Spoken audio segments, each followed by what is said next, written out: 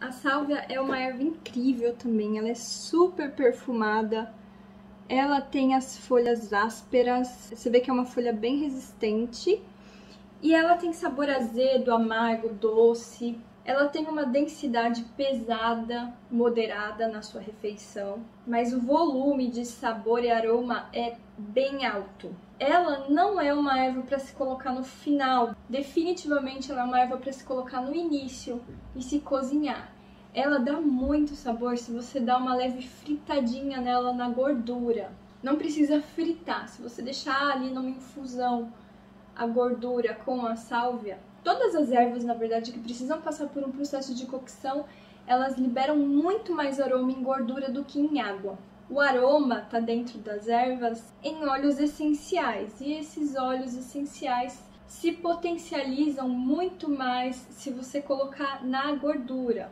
Um azeite aromatizado, fazer uma manteiga aromatizada, você vai ter resultados muito melhores. Se você fritar a sálvia no começo da preparação, você vai ter um resultado muito legal. E ela combina com ervas que falam alto, como tomilho e alecrim. Ingredientes estrelas com a sálvia são os grãos, feijões, combinam muito bem com a sálvia, carnes, massa, porco vai muito bem com a sálvia, pães, molhos, berinjela, cogumelos, alho, salsichas, embutidos, frutos do mar, abóbora, sopa de abóbora com sálvia fica maravilhoso, ensopados no geral ficam muito bons com a folha de sálvia. Combinações que eu indico se você quer começar a utilizar a sálvia, faz uma pasta, coloca umas nozes, faz uma pasta com manteiga, nozes e sálvia. Você vai adorar. Se você quer fazer uma combinação de ervas legal, combine a sálvia com alecrim, salsinha e tomilho. Você vai ter uma combinação muito interessante. Outra erva que tem o poder de resfriar seu prato. Ele traz muita refrescância para o seu prato,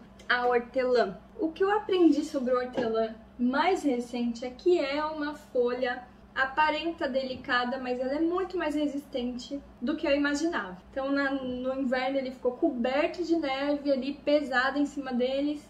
Acabou a neve, eles estão lá, firmes e fortes. Então é uma erva super resistente. É uma erva adocicada, leve. Na sua preparação, ele vai agir de uma maneira quieta para moderada. Você tem que saber o que você quer do hortelã. Como as outras ervas delicadas, delicada que eu falo, ele é resistente porque ele aguentou inverno aí, mas se você olha é uma erva fininha, maleável e a cocção também não favorece. O legal é você colocar no finalzinho. O ponto mais forte do hortelã é trazer aquela frieza para o seu prato. Então ele combina muito com pratos apimentados, com pratos que você quer aquela nota de frescor.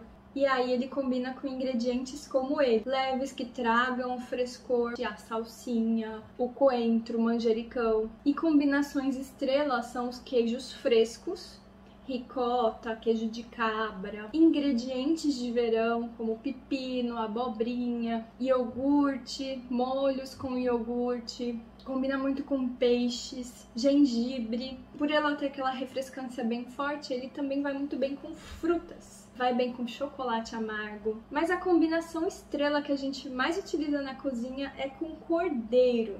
O hortelã combina muito bem com a carne do cordeiro. Vai muito bem também na salada de melão. Uma salada de frutas com melão e hortelã fica deliciosa. Então, para fechar o vídeo de hoje, a gente aprendeu que a gente precisa analisar o ingrediente em si. Se ele é um ingrediente delicado, uma erva delicada, ele vai bem com ingredientes delicados.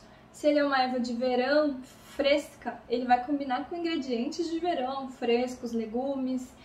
Se ele é mais pesado de inverno, ele vai combinar com ingredientes mais pesados de inverno, como a sálvia combina com a abóbora. A gente tem muito caminho para andar na gastronomia, por isso que é tão importante a gente saber as bases, para que a gente possa seguir sem tantos erros. Espero que essa aula tenha te ajudado um pouquinho que seja. Não se esqueça de se inscrever no canal, curtir, compartilhar com um amigo que goste de cozinhar ou queira se profissionalizar. Te vejo aqui no mesmo canal, na mesma cozinha. Até o próximo vídeo.